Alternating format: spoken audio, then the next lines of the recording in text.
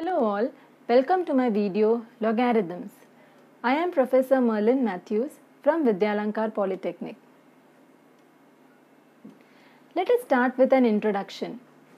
If 2 raised to 4 is equal to 16, now 2 raised to 4 equal to 16 is an exponential form where 2 is the base and 4 is the index. This exponential form can be converted into a logarithmic form as log of 16 to the base 2 is equal to 4. Here the index in the exponential form goes to the answer and the base in the exponential form goes to the base in the log form. Hence it is read as log 16 to the base 2 is equal to 4. If you have 2 raised to 5 is equal to 32, again you can write the same in logarithmic form as log 32 to the base 2 is equal to 5. Then we come up with the definition as if b raised to x equal to a then log a to the base b is equal to x. This means every number in an exponential form can be written as a logarithmic form and vice versa. Let us solve some simple problems based on these particular definitions. Evaluate log of 343 to the base 7. Let us start with assuming the same as equal to x. Hence by definition we have 7 raised to x is equal to 343. Now we all know that 7 cube is 343. Hence your answer of x has to be equal to 3. This means 3 is the solution to this question. Solve one more problem. Evaluate log 1 to the base 4. Let us start by assuming the same as equal to y. Again the definition goes and hence we get 4 raised to y is equal to 1. Thus we have any non-zero number raised to 0 as equal to 1. Hence it has to be equal to 0. Now let us proceed with some rules of logarithm. The very first one, log xy to the base b is equal to log x base b plus log y base b. This is called as logarithmic addition identity.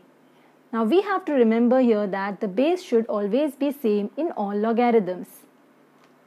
Now if you have for multiplication we can just guess the same for division log of x upon y to the base b is equal to log x base b minus log y base b.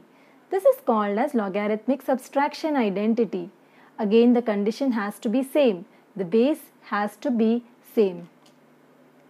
Now we have a power logarithm that is log a raised to n base b. It is always equal to n log a base b. Also we have log b base b always equal to 1. This means if the number and the base are both same, the value is always equal to 1. Let us apply these rules into some problems. Before that, we have to note that never log x multiplied by log y is not equal to log x plus y. Also, log x divided by log y is not equal to log x minus y. These are the note these are the rules which has to be noted while solving the problems. Let us start with first one. Simplify log 25 base 10 plus log 40 base 10. As we all as we can see that between two logarithms we have an addition. Hence it can be converted into multiplication by writing the next line as log 25 multiplied by 40 base 10 giving you as log 1000 base 10. Now 1000 can be written as a power of 10. Hence the next line goes as 10 cube.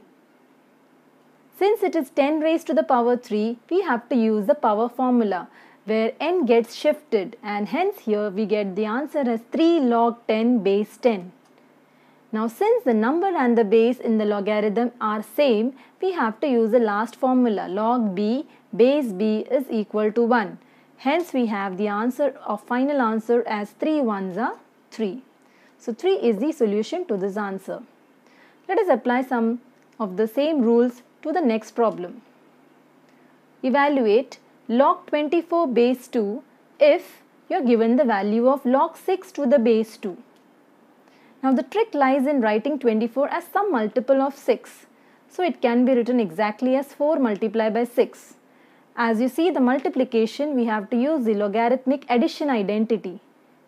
Hence it goes as log 4 base 2 plus log 6 base 2. Also the trick in writing log 4 base 2 is as writing as log 2 square to the base 2 plus 4.5849 already given in the question. Again we have a power formula that is 2 shifted to the start and hence we get 2 log 2 base 2 plus 4.5849. Here we have 2 into 1 because the number and the base are same plus 4.5849 hence giving the final value as 6.5849 hence this is the value of this particular logarithm. Thank you.